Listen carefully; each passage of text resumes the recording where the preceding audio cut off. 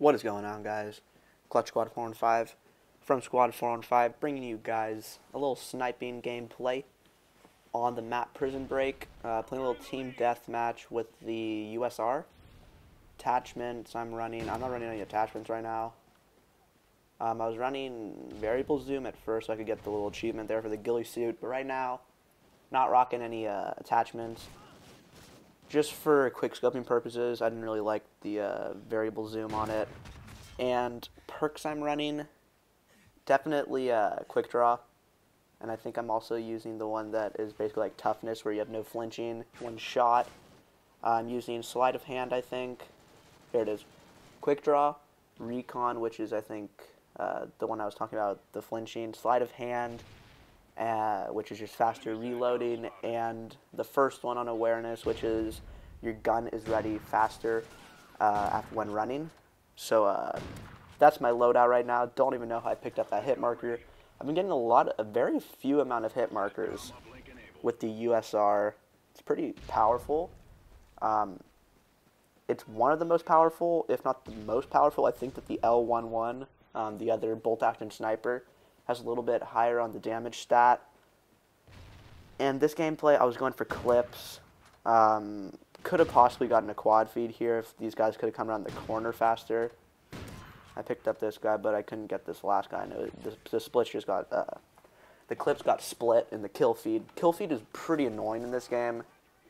Um, it's not really like uh, all the future, I mean, not the future, the recent CODs, almost all of them, on the kill feed, you could sort of see a glimpse of the last kill feed like exiting. So when editing you could sort of pause it so you could see all four in a quad feed. But when I'm making montages right now it's basically you have to get all four kills in a row with no one else in between that or else it's not going to show up as a quad feed. But uh, most viewers know when it's a quad or not like if it's if there's a long break between the third and fourth kill obviously it's not really a quad feed. But if there's like a little mini break in between there usually viewers will know. This was another hit marker. It's weird, I got two hit markers in this game.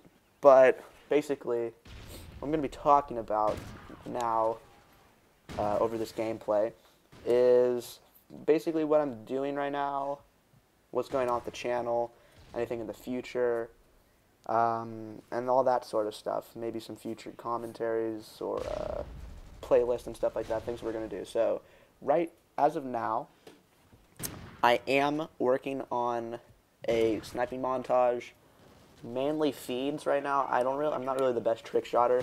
Um, I haven't really worked on it either, so maybe maybe a trick shot montage. But I'll probably, I'm working on feeds right now. I have a couple clips. It's looking pretty sick right now. My editing skills, uh, I'm pretty proud of this. They've increased tremendously. I was at first on the the, the previous montages from Black Ops 2 which in my opinion were very shitty. Uh, the clips were good. Didn't have an HD PVR, so I had to go off theater mode, so it was uh, pretty uh, dim. The clips weren't as good as they are now. Uh, I got a lot of triple feeds and stuff like that, and I got a couple one and threes, uh, which are always good. But the thing is, is that I wasn't really having a desire to go for clips back then because I didn't have an HD PVR, not HD PVR. I didn't have an Elgato uh, game capture. I didn't have any way of transporting good clips into my videos, and I didn't really want to produce something that had bad quality on it. So I was didn't really have a strive, wasn't really striving for clips, and right now I am. That's what I'm doing. I've been going for clips a lot in this game, and I am. Uh, I am liking sniping a lot more. I was really mad in the beginning. Sniping was pretty tough in the beginning, but it does take a little while to get used to it. Once you're used to it, uh, you can be a pretty deadly player in Call of Duty. So working on a montage right now. That's why there has not been a lot of videos up. Also, been a rough week at school today. I had a shit ton of tests and some uh, projects due, so I didn't really have time to upload any videos. So most likely this weekend, probably going to go into video making grind, uh, just so I'll have pre-made videos all ready to upload throughout the week. Maybe one on Monday, one on Wednesday, and uh, Friday. Friday is usually an okay one since there's no school the next day. Um, so yeah, that's why there has not been a lot of uploads. I think the last one I did was the KEM strike fail. And so that's one of the things. I don't know. Trick shotting is hard.